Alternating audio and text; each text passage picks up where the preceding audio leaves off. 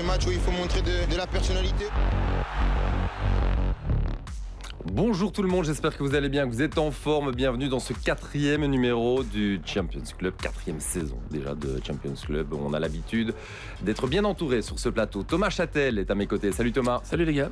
Jonathan Ancio, Jonathan Ancio, Jonathan Lange. Jonathan Ancio, on le retrouvera très prochainement aux commentaires. on dirait du Marc Delire qui nous confond parfois. autant pour moi, autant pour moi, Jonathan Lange, évidemment responsable du cahier sport de l'ADH et on est toujours impatient évidemment euh, de partager ces moments ensemble. Euh, on va aussi avoir droit à une belle semaine, une très belle semaine européenne avec le multi-live le mardi et le mercredi, euh, bien sûr, et euh, que du beau monde vraiment au, programme. On sera d'ailleurs du côté de Milan, Milan PSG avec Kalilou Fadiga. Porto Antwerp, Quentin Volvert et Alex Teclac seront sur place. Et puis mercredi, ben, on aura de la chance aussi euh, Thomas, euh, bien sûr, puisque nous serons à Arsenal pour Arsenal euh, Séville. Il ne manquera pas aussi le mardi d'être attentif à Manchester City Young Boys, hein, parce qu'on va vous parler de Jérémy Doku dans quelques instants avec Bruno Constant. Et puis, comme je vous le disais, donc Arsenal Séville pour mercredi. Et on parlait de Jonathan Ancio. Mais Jonathan Ancio, il sera à PSV Lens. Ça sera pour mercredi en compagnie de Benoît Tans. Une belle semaine. En fait, ce sont les matchs retour par rapport à ce qu'on a vécu il y a 15 jours. Si vous étiez en congé, par exemple, comme euh, Jonathan Lange il y a 15 jours, eh bien, on vous propose une petite piqûre de rappel. Ce qu'il ne fallait pas rater. Oui, c'était pas mal, hein. euh, très clairement. Euh, Thomas, on a pris euh, beaucoup de plaisir à assister à ce match entre Séville et Arsenal. On en parle dans quelques instants. Comme convenu avec Bruno Constant, maintenant il y a le passage obligé. On est obligé de passer de, On aurait quasi envie de se passer de l'Antwerp, mais on est obligé de parler de l'Antwerp. L'Antwerp qui se déplace mardi à Porto. Le Great Old.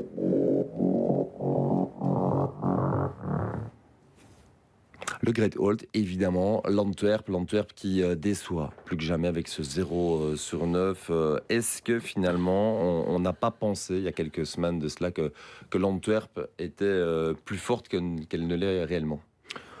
Je pense pas. Moi, je pense qu'ils n'ont déçu que contre le Shakhtar. Euh, contre, Porto, ben, je pense qu'il y avait une équipe qui était beaucoup plus forte, qui en première mi-temps n'a pas été à niveau. Porto, en, première mi-temps, n'était pas le, Porto de, la Ligue des Champions. Mais quand Porto joue à son niveau, c'est un cran trop haut, ça on, s'en est clairement rendu compte.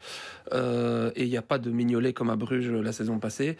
Euh, mais par contre, contre le Shakhtar, c'est là que pour moi, ils peuvent et ils doivent faire beaucoup mieux. Ils sont encore capables d'aller gagner au Shakhtar, ça oui. ça sera à Hambourg, hein, à la fin du mois, évidemment, ce match euh, très important. Entre-temps, bon, l'Antwerp a, gagné face à Genk dans un match qui a, qui a fait parler, très spectaculaire. On a aussi beaucoup parlé arbitrage, mm. très clairement. Et puis la bonne nouvelle, c'est que Vincent Janssen a enfin marqué enfin une bonne nouvelle au niveau offensif. Par contre, pour ce match du côté de Porto, absence de buté qui va être papa, félicitations à lui, et absence aussi de Toby Alderweireld. On a envie de dire que là derrière, il n'y a, personne qui est capable de le remplacer. Non, il est remplaçable, mais c'est vrai que Buté et Alderweireld, je trouve, ils illustrent un petit peu les mots envers soi dans cette campagne de Ligue des Champions. L'erreur de, de Buté. Euh, qu'on a vu euh, lors, de, lors de ce match était incroyable et incompréhensible ce qui s'est passé, ce but qu'il a, a offert à l'adversaire. Et Toby Alderweireld avec le pénalty raté contre le Shakhtar aussi, voilà, c'est quelque chose qui lui ressemble pas. Et, euh, et je, je suis pas vraiment surpris en fait par leurs résultats de, cette campagne-là parce que je trouve qu'on a été un petit peu aveuglé par la qualification de l'année dernière de Bruges en Ligue des Champions. Mais faut pas oublier que c'était le fruit d'un long processus. Ah, parce qu'à part Gand qui s'était qualifié euh, une seule fois, enfin du premier coup pour sa première campagne de Ligue des Champions, Bruges ils ont quand même longtemps tourné autour avant de pouvoir franchir le cut. Et comme l'a dit Thomas, j'ai envie de dire que rien n'est perdu encore, parce qu'ils peuvent aller chercher un, résultat à Hambourg contre le Shakhtar pour potentiellement espérer passer l'hiver. Et pour moi, c'était ça l'objectif. Croire qu'ils allaient se qualifier pour les huitièmes de finale, c'était une erreur. le, problème, en tout cas, avec l'Inter, c'est qu'il y a deux mi-temps. et, à chaque fois, ben, l'Inter, lors de la première période, est particulièrement euh, encourageante. Hein. C'est souvent même chouette à voir. Euh, ça a encore été le cas face à Porto. Et puis, en deuxième période, on passe complètement à côté de son sujet. Comment ça s'explique, ça? C'est pas illogique, la barre est trop haute. Euh, encore une fois, je le dis, si on accepte le match contre le Shakhtar, où pour moi ils doivent être capables de garder ce niveau-là tout, le match, contre des, équipes comme euh, Porto et le Barça, ils peuvent pas tenir tout un match euh, à ce niveau-là. donc ça, me paraît assez, logique. Mais, par contre, voilà, je pense que c'est peut-être le moment, vous parliez des, absences d'Alderweireld et de Buté, mais c'est peut-être le moment de, tester ce qu'il a essayé par morceaux de match ces derniers temps, une défense à 3 pourquoi pas? Euh, on sait qu'Ilinikena aussi commence euh, tout doucement à, s'acclimater et, je trouve aussi que ce serait peut-être un jour l'occasion de tenter, euh, pourquoi pas un 3-5-2 avec deux, avec deux attaquants. il l'a fait en fin de match, notamment contre Bruges, et, c'est peut-être le, moment de le tenter là à Porto. Face à Porto, donc, qui a perdu hein, face à Estoril à la maison, ça c'est curieux, ça, défaite 0-1, les, les news justement du côté de l'effectif des Dragons, Thomas? Bah, disons qu'il y, a pas mal de blessés et d'ailleurs Conchessaus en est un peu plein. Il a, il a euh, fait un petit coup de gueule après, le, après le match sur le staff médical, figurez-vous, parce qu'il y a trop de blessés pour lui depuis un petit temps et il a remis un petit peu le staff médical à sa place. Euh, donc l'ambiance n'est pas géniale. Ils sont troisième, ils sont quand même un petit peu distancés par le Sporting et, euh, à trois points de Benfica, je pense, qui est, qui est deuxième. Taremi a raté un penalty après, après quelques minutes de jeu, donc c'est pas la, la grosse ambiance. Le flanc gauche manque. Wendell Galeno. Voilà, il n'y aurait pas eu les absences de, de Buté et, et d'Alderweireld, on y aurait cru un tout tout petit peu. Bon, on rappelle tout de même, pour se montrer positif, que la dernière fois qu'une équipe belge s'est déplacée du côté de Porto, elle avait gagné 0-4. C'était le club de Bruges l'année dernière. Voilà, juste histoire de le rappeler et se donner en tout cas un peu de courage avant ce déplacement du côté de Porto. On est parti pour un gros chapitre au niveau du football anglais. On va accueillir dans quelques instants Bruno Constant. Bruno, euh, bonjour, j'espère que tout va bien. On va parler avec euh, toi, bien sûr, euh, d'Arsenal Séville puisqu'il y a deux Belges des deux côtés, et aussi Jérémy euh, Doku. Euh, ça parle euh, belge du côté de l'Angleterre. J'espère que ton dialecte est bon aussi. Bonjour à tous. Oui, oui, c'est vrai que les Belges crèvent l'écran, et notamment un certain Jérémy Doku. Ouais, incroyable hein, ce qui s'est passé ce, week-end. Si tu le veux bien, Bruno, je propose qu'on débute d'abord par le chapitre Arsenal-Séville, parce que là aussi, il y a beaucoup de choses à dire. Et puis, on, entamera dans la foulée euh, le chapitre consacré à, à Jérémy Doku. Noir, jaune, rouge. Oui, on était d'ailleurs présent en Andalousie avec euh, Thomas. Euh, Bruno, Bruno, dans ce groupe euh, avec Arsenal 6 points, Lens 5 points, Séville 2 points comme le PSV, bah, finalement, le scénario qu'on aurait pu imaginer il y a quelques semaines de cela n'est peut-être pas aussi certain avec Arsenal et, Séville qui dominent le groupe. Pas du tout. Bah, Arsenal, finalement, pour l'instant, c'est 6 sur 9. Oui, parce qu'il y a eu cette défaite à Lens, euh, un peu à la surprise générale. Euh, on les attendait pas chuter euh, sur la pelouse du RC Lens. Ça a été un match un peu compliqué pour eux. Et c'est vrai que ça tranchait un peu avec leur première journée. Vous avez une large victoire face au PSV. C'était beaucoup mieux sur la pelouse de Séville, même si là aussi ils ont été bousculés. C'est une équipe qui retrouve la Ligue des Champions après six ans d'absence, avec beaucoup de jeunes joueurs. Et c'est pour ça aussi que Mikel Arteta avait recruté sur les six derniers mois des joueurs qui avaient déjà joué Ligue des Champions, qui l'ont gagné avec Chelsea notamment, Jorginho et, et Kaya Mais voilà, c'est une équipe qui est un petit peu à l'image de son début de saison, qui est relativement efficace, mais euh, on n'a pas retrouvé les flamboyants de la saison passée avec cette équipe qui nous avait enchanté en Première Ligue. C'est un tout petit peu plus compliqué en ce début de saison. Ouais, et entre-temps, depuis ce fameux succès du côté de, Séville, il y a eu une semaine quand même assez délicate, hein, avec euh, évidemment ce match face à Newcastle dont on a beaucoup parlé. Une semaine oubliée au plus vite, on peut le dire, pour euh, Michael Arteta? Oui, surtout le match euh, de ce week-end à Newcastle où on a vu la, colère de Mikel Arteta après l'arbitrage avec ce but concédé à Newcastle où euh, il y a trois situations euh, litigieuses et, lui il a parlé de honte absolue, il a remis en cause l'arbitrage en première ligue, le meilleur championnat du monde qui n'a pas les meilleurs arbitres. il faut qu'il redescende très vite parce que le match de Ligue des Champions face au CF Séville, ils sont ils sont premiers du groupe, ils sont là où ils sont attendus parce que pour moi, ça reste le favori euh, du groupe en termes de moyens financiers et, d'effectifs, mais ils l'ont pas toujours montré. Et il faut que Mikel Arteta, qui est quelqu'un de très sanguin, bah, redescende un tout petit peu et se reconcentre sur ce match capital pour la qualification.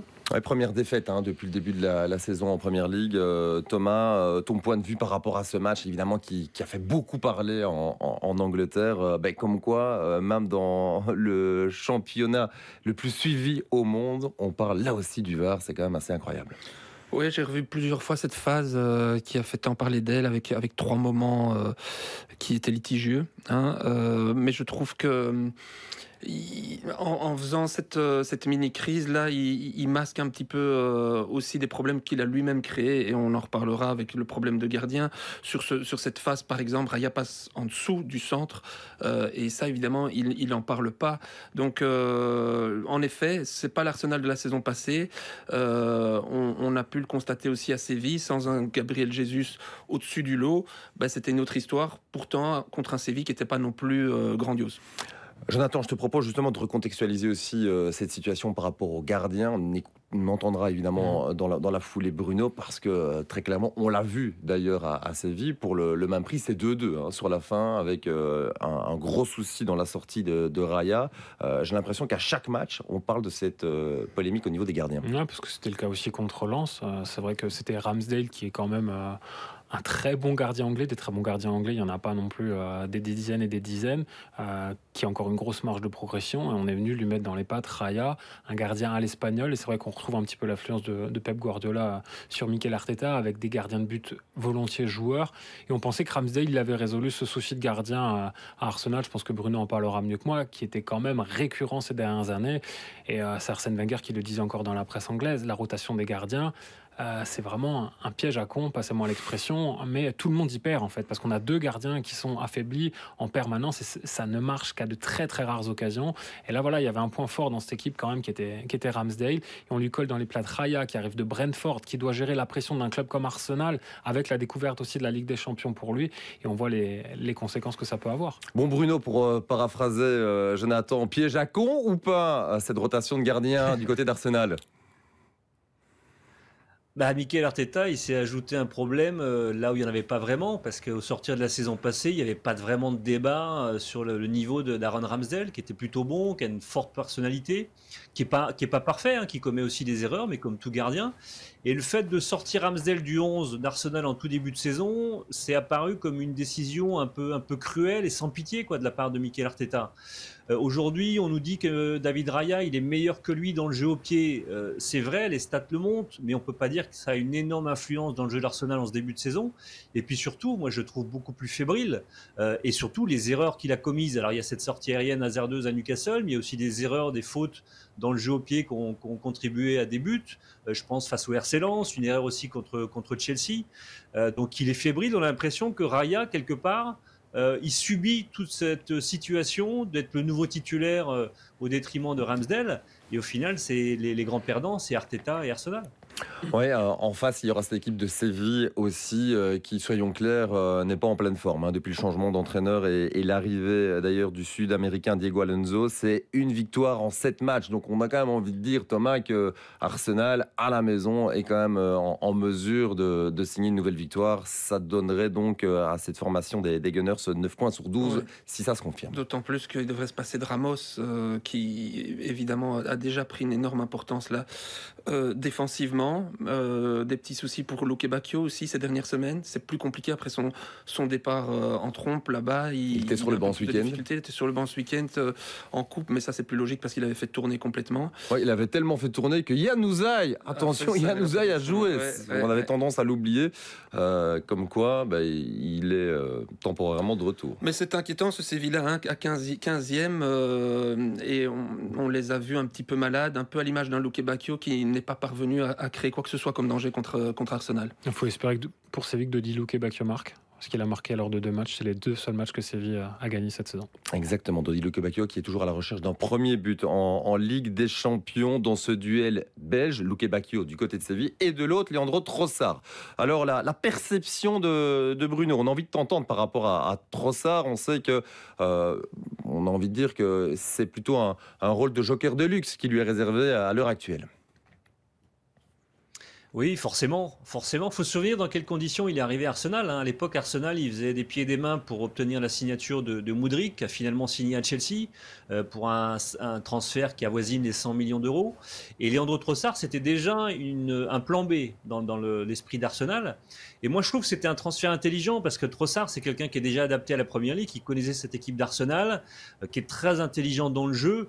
Il est capable de jouer aux trois postes offensifs euh, d'Arsenal et il le démontre. Ses stats pour l'instant le démontrent. Il a 12 matchs cette saison, seulement 5 titularisations, mais il est déjà à 4 buts et une passe décisive. C'est lui qui arrache le nul à Chelsea en, en, en Première Ligue. C'est lui qui marque le seul but du match à Everton pour Arsenal. Il est dans la rotation, notamment grâce aux blessures de Gabriel Jesus et Martinelli. Et, et notamment, alors, on, le sait, il est bon sur les côtés, mais il est capable aussi de jouer dans l'axe. Et moi, c'est ce que j'aime bien, c'est que c'est plus un neuf. Il est capable de jouer en faux neuf, de décrocher, de se déplacer par l'intelligence de ses déplacements. Il apporte à cette équipe d'Arsenal. Donc voilà, il fait son petit nid à Arsenal et effectivement, c'est un peu le presque le douzième homme, on va dire, de cette équipe d'Arsenal. Est-ce qu'il est en droit justement de revendiquer davantage de, minutes? Alors, euh, tu vas me dire, Bruno, que tu n'es pas Michael Arteta, mais, sur base de tout ce que tu as pu voir depuis le début de saison. Ben moi, je dirais oui. Je dirais oui pour une simple et bonne raison, c'est que les deux joueurs de côté à Arsenal aujourd'hui, que ce soit euh, Gabriel Martinelli à gauche ou Bukayo Saka à droite, on peut pas dire qu'ils soient extrêmement rayonnants depuis le début de la saison. Et ce, qui, ce dont les supporters se plaignent à Arsenal aujourd'hui, c'est qu'il n'y a pas assez de concurrents sur ces deux postes. Donc peut-être que Mikel Arteta, qui a été sans pitié avec euh, Ramsdale pour le poste de gardien, il pourrait l'être un petit peu plus avec ses joueurs de côté et instaurer une, concurrence plus euh, sévère avec, euh, avec la présence de Leandro Trossard. Très bien, je pense qu'on a été complet pour euh, cet Arsenal. euh, Arsenal qui devrait se passer vraisemblablement aussi d'Odegaard, euh, en plus Ouais. de Gabriel Jesus, peut-être de Saka, donc ça fait, ça fait aussi beaucoup pour eux. Ok, peut- ok, mais en balotage favorable, on l'a bien compris. J'aimerais qu'on se réserve suffisamment de temps pour parler de la performance du week-end. Je parle évidemment de, de celle de Jérémy Doku, impliqué dans 5 buts euh, face à Bournemouth avec City. Assez dingue ce qu'il a réalisé. Honnêtement, il a donné le tournis à tout le monde, aux joueurs sur le terrain, mais aussi au, au public, j'imagine, là-bas en Angleterre, Bruno. Ah oui, parce qu'il est un peu arrivé, il faut reconnaître, sur la pointe des pieds. On ne le connaissait pas trop en Angleterre. Et, et même en France, quand on voyait ses performances avec le Stade Rennais, il y avait toujours des doutes, des questions sur son efficacité. Même parfois, on utilisait sur son intelligence de jeu. Et franchement, il a crevé l'écran. Euh, Avec Manchester City, il est impliqué sur 5 buts, 1 but, 4 passes décisives. Euh, il a coûté cher, pourtant, hein, 60 millions d'euros. Euh, il est à 3 buts et 6 passes décisives en 12 apparitions, toutes compétitions avec Manchester City. Donc, c'est des très très bons débuts quand on déboule comme ça euh, chez le champion d'Angleterre, chez le champion d'Europe en titre, c'est quand même pas mal. Il était décisif en Ligue des Champions aussi contre Leipzig. Il avait marqué, il avait fait une passe décisive. Et cette saison en Première Ligue, c'est le joueur qui, accomplit le plus de dribbles. Euh, il est à 4,7 dribbles par match. Son premier concurrent est à 3,8, donc un de plus par match que son premier concurrent. Et puis surtout, il y a eu les déclarations de, Guardiola qui dit que ce qui me surprend le plus avec lui, c'est à quel point il est intelligent quand, on lui, quand il doit prendre une décision, il prend souvent la bonne. Quand on lui émet des conseils sur des choses à faire, il y répond oui et il les applique immédiatement. immédiatement. Donc c'est quelqu'un qui qui est intelligent dans le jeu. Et c'est c'est ça qui est assez fou parce que euh, nous, euh, on, on se souvient en Belgique, c'est ce qu'on lui reprochait euh, à ses débuts. C'était énormément de déchets dans le dernier geste et, et cette faculté de faire la différence dans un premier temps et puis de se louper là où ça semblait être finalement le, le plus facile qui devait encore être à, à réaliser.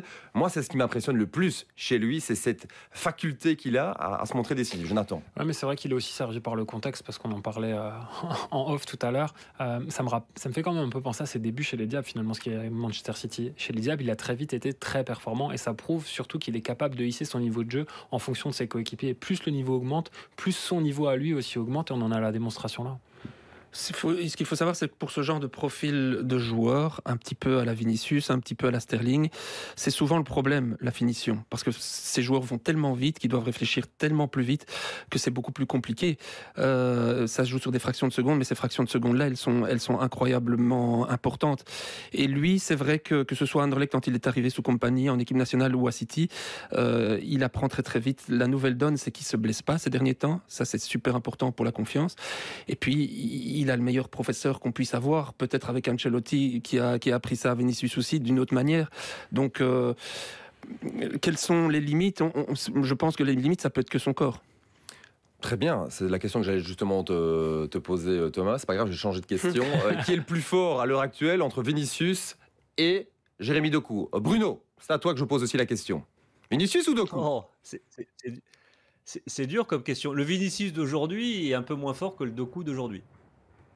Très bien. Euh, Thomas, tes arguments C'est sur, sur le petit laps de temps que Doku vient de, de prester. On ne peut pas le comparer aux, aux deux saisons que Vinicius a fait. Mais si, oui, je suis d'accord avec Bruno. Si on le prend l'instant T.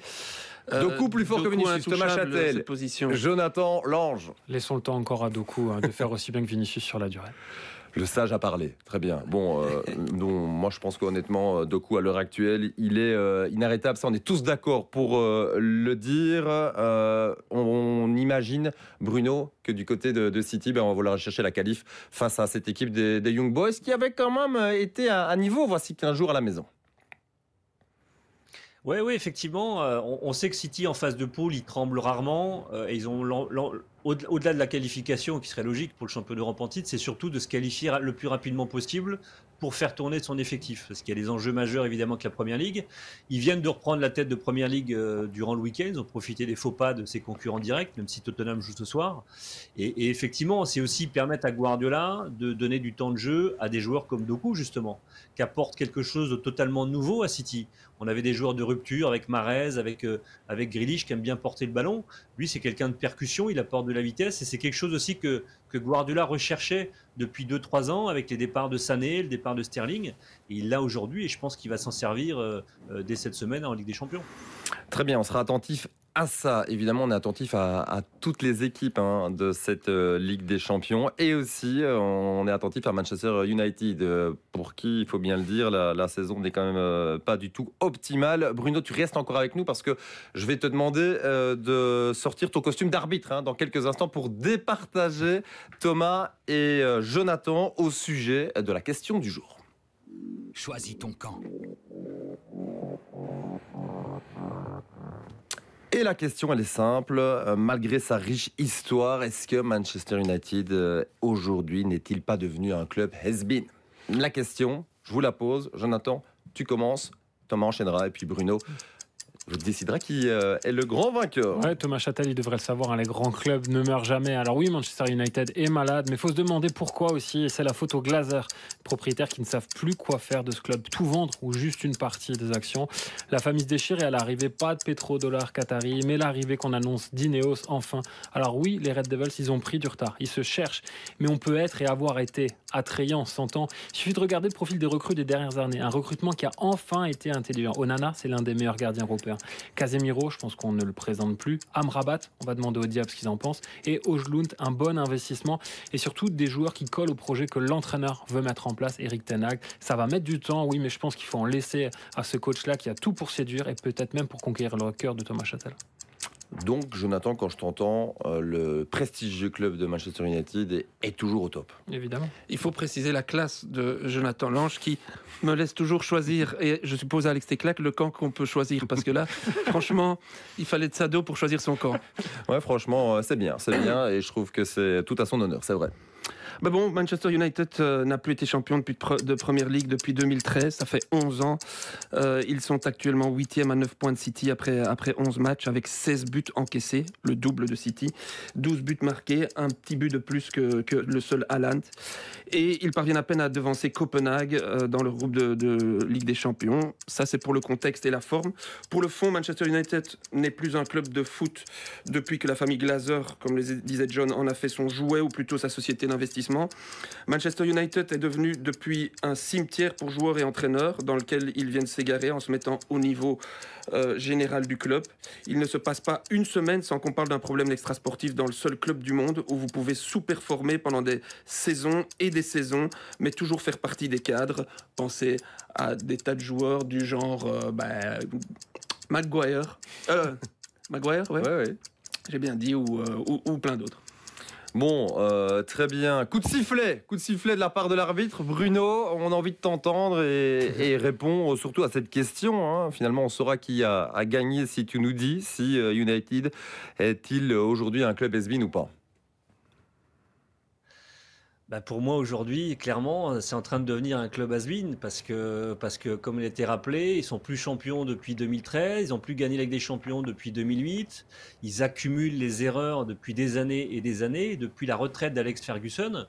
euh, faut reconnaître qu'ils retrouvent pas, ils n'arrivent pas à trouver le bon entraîneur, ou du moins, ils lui font pas assez confiance dans son projet. Mais on en revient à ce qui a été développé par Jonathan, c'est que le principal souci de United aujourd'hui, c'est pas les joueurs, c'est pas l'entraîneur, c'est les dirigeants. On ne sait pas où veut aller ce club. Et tant que les Glazers, tant que la famille Glazer, qui est aujourd'hui propriétaire et qui sera toujours propriétaire, puisque euh, Jim Ratcliffe et Ineos vont arriver, mais à hauteur de 25%, ce qui n'a toujours pas été confirmé, euh, tant que les Glazers ne seront pas sortis de ce club, ce club n'ira nulle part. Très bien, donc Bruno, d'accord avec Thomas et avec Jonathan. C'est ça aussi un arbitre, hein. c'est quelqu'un qui parvient à faire en sorte que le match se déroule bien. Merci Bruno, c'était un, plaisir. On te salue, à très bientôt. On suivra évidemment tous les clubs anglais dans cette Ligue des Champions. À bientôt. Ciao, ciao. Merci, évidemment. Euh, on avait de quoi parler avec Jérémy Doku, euh, notamment, mais il y a encore aussi un gros chapitre à aborder. C'est un classique européen qui nous attend ce mardi soir entre le Milan AC et le PSG. L'immanquable. Très chouette montage de David Prudhomme. Euh, Paris qui, entre-temps, a marqué le même but. Je ne sais pas si vous avez vu ça face à, Montpellier. Le but de Lee, c'est exactement copie conforme par rapport à, ce but face à, à l'AC Milan. C'est quelque chose qui travaille, euh, notamment les, centres aux, 16 mètres. C'est quelque chose qui est travaillé là-bas avec Enrique. Oui, et, dans le même temps, ou en tout cas à quelques heures près, l'AC Milan qui a encore une fois été battu. Quand on, on, regarde un peu les résultats et les courbes des deux équipes, on se dit que Paris est très clairement le favori du côté de San Siro mardi soir. clairement, euh, est-ce qu'on a vu un grand pari parce qu'on a vu un petit Milan Je pense que la réponse est dans la question, mais c'est vrai que sur ce match aller-là, Milan a été méconnaissable et d'une faiblesse absolue. Après, faut pas banaliser non plus ce qu'a fait le PSG. Ils étaient attendus et on l'a vu là dans le sujet. Euh, Warren Zahir Emery a marqué euh, de très très gros points. Deux passes décisives en un match de Ligue des Champions. À son âge, euh, il n'y a que Théo Walcott qui avait fait mieux en termes de précocité. Zahir Emery, match aller, c'était 17 ans et 231 jours. On peut euh, très clairement parler euh, d'avènement en ce qui concerne ce joueur euh, qui, pourrait aussi faire partie de la sélection de Didier Deschamps très prochainement. assez incroyable à son âge qu'il est en, mesure de déjà réaliser. Oui, c'est vrai qu'on s'y attendait pas, alors que c'est un secteur où il y a quand même embouteillage et, il y a pénurie de biens là au, PSG, mais il apporte quelque chose de, de spécial. On, l'avait analysé en studio lors de la troisième journée, mais c'est un joueur qui est capable de faire euh, beaucoup de choses, que ce soit porter le ballon, percuter avec le ballon, percuter sans le ballon. Euh, il a une intelligence de jeu au-dessus de la moyenne. Il a un passing très très bon, donc en fait il a, très très peu de, défauts. Et quand on voit sa finition encore ce week-end, euh, c'est assez impressionnant face à Montpellier. C'est ça parce qu'il commence à avoir des stats. C'est vrai que au milieu de terrain au Paris Saint-Germain, depuis le départ de Thiago Motta, on cherche la bonne formule. Il y avait ce milieu de terrain qui fonctionnait très bien avec Blaise Matuidi, Marco Verratti et Thiago Motta. Là, on sent quand même qu'il y a quelque chose qui se passe dans ce secteur de jeu-là, avec Warren Zahir auquel il faut aussi ajouter Manuel Ugarte. Euh, beaucoup se demandaient en France pourquoi aller investir 60 millions d'euros sur un milieu de terrain du Sporting.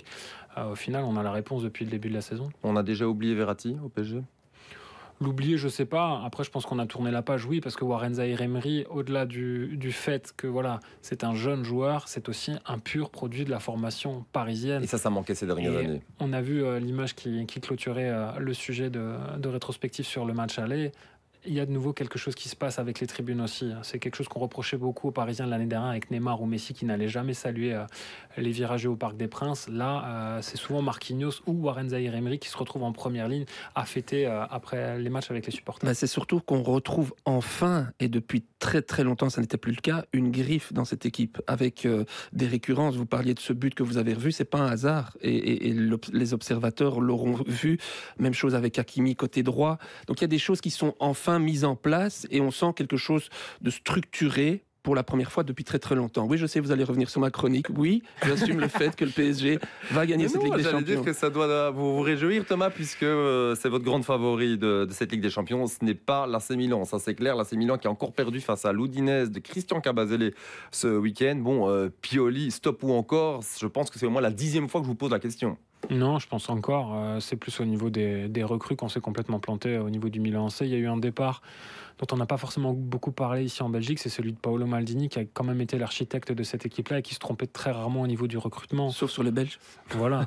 Mais là, quand on regarde euh, Pulisic, Chukwueze, Moussa, Raiders, Loftus-Cheek, Okafor, euh, c'est tous des joueurs qui ont été achetés entre, on va dire, entre 15 et 20 millions d'euros, plus ou moins, mais il n'y en a aucun qui est au rendez-vous.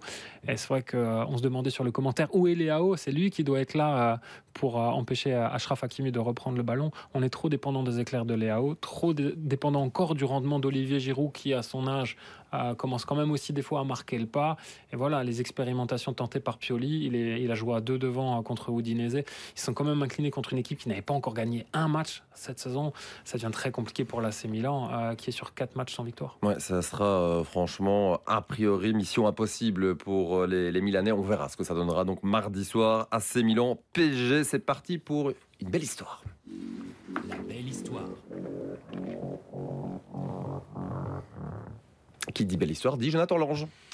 Ouais, et on va parler d'un Barcelonais. hein. Les Anversois l'ont découvert quand il a remplacé Gavi, qui venait de marquer. Euh, L'Europe l'a vu naître contre le Shakhtar. Première titularisation, premier but, première passe décisive, premier trophée d'homme du match, premier tacle à Thomas Châtel, non, je m'égare. Et première interview d'après-match aussi, pas au micro de Mathieu Estas. La consécration attendra pour Fermin Lopez, le nouveau petit crack de la Firmin, Masia. donc tu dis Firmin. Firmin. Ouais. Le chouchou du public catalan.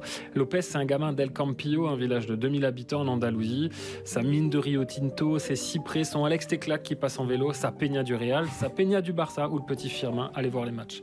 Merengue au Blaugrana, lui, il a vite choisi. C'est pas à cause de son père, mais de son oncle, Juan, qui appelle son neveu Miri, référence à Maradona, rapport à sa petite taille, à ses dribbles aussi sur les terrains andalous qui vont commencer à attirer les regards quand il joue au Bétis. Mais Papa Veille le préserve des, des recruteurs.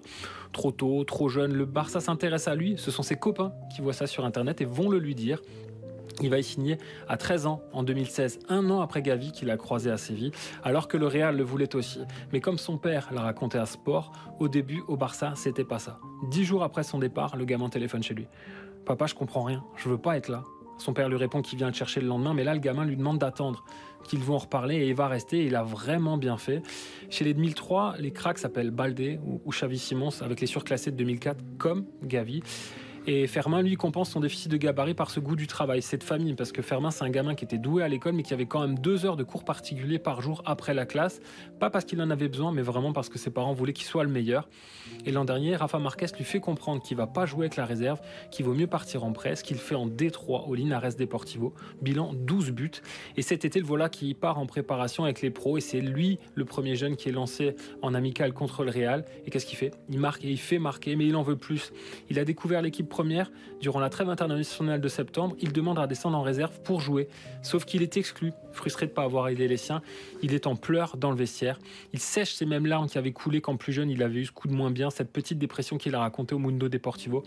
J'en pouvais plus, mais ça m'a rendu plus fort. Le club m'a aidé. Et le club ne l'a pas regretté avec ce fan de Messi et qui vient de prolonger jusqu'en 2027, qui vient d'être appelé en espoir et qui le sera très vite en 1, parce que El Pekenin, alias le petit avec son mètre 76, a tout d'un grand. Très bien, euh, bel exemple aussi à, à suivre pour euh, les euh, plus jeunes. Très intéressant. Merci Jonathan. Roulement de tambour, c'est le moment qu'on attend aussi. C'est le quiz et regardez où on en est au niveau de ce classement. Donc les consultants face à moi, je tiens à le dire très modestement, je mène pour l'instant. La 8-6. remontada est en marche. hein. C'est ce que je vous souhaite, c'est ce que je vous souhaite. Et donc le thème du jour, Jonathan Bah, vous l'avez compris, on a parlé d'un joueur du Barça qui aurait pu aller jouer au Real, donc on va évoquer les joueurs qui sont passés par le Barça et par le Real. Alors, j'ai joué avec Roberto Carlos, Raúl, Iker Casillas, Pep Guardiola et Rivaldo. Figo. Figo. Bien joué, 1-0. J'ai joué avec Luis Figo le Barcelonais, avec Luis Figo le Madrilène, avec Zinedine Zidane, David Beckham et Pep Guardiola. Un ballon d'or. Ronaldo. Ah, falloir appeler à la, à la VAR. Je laisse la régie, David Prudhomme. Moi je propose qu'on donne le point aux deux, honnêtement. euh, J'accepte. Validé, ouais, validé. parfait. J'ai joué avec Fernando Hierro, Ivan Zamorano, Philippe Cocu, Rivaldo et Sergi. Vous le connaissez. En- On en a parlé il y a quelques instants. Luis Enrique. Ah, bien joué 2-1. J'ai joué avec Ivan Campo, Roberto Carlos, Victor Valdés, Xavi, Lionel Messi, Ah, ça remonte dans le temps. un attaquant. Tu peux Ah, répéter encore une fois? non. Eto, Oui, ouais, c'est Thomas Châtel, ça. bravo. 2-2, ouais, Sorti- franchement, un grand Châtel. part, bravo, un très grand Thomas Châtel. Sera-t-il immense sur cette dernière question? J'ai joué qu'un match au Real avec Raúl Marcelo. Par contre, je suis encore au Barça où je joue avec Ter Stegen, Lewandowski et De Jong. Il est passé par un autre club entre? Euh, il est passé par Chelsea notamment. Un défenseur. Il, il est au, il est au Barça. Il est au Barça. Marcos Alonso. Bien joué. 3-2. 3-2. Bon, ben voilà, euh, vous, vous n'avez perdu qu'un point par rapport à, à ce classement, donc 3 points d'écart. Désormais, euh, ça sera Alex Teclac la prochaine fois de tenter de réduire l'écart. Bon, en tout cas, on a passé un, un chouette euh, moment. On espère voir des buts belges aussi euh, cette semaine. Ça passera peut-être par euh, les pieds de Jérémy Doku. On n'a pas parlé d'Openda, ça pourrait être lui aussi. On, verra ce que ça donnera. En attendant, rendez-vous mardi, multilive, 20h15, mercredi, multilive. 20h15 et puis le jeudi aussi sur les réseaux sociaux de Pix Plus Sport avec Flashback et toute l'équipe de Gordon de Winter. C'était un plaisir. On se retrouve à la fin du mois de novembre pour la cinquième journée de des Champions. Bonne semaine. Ciao.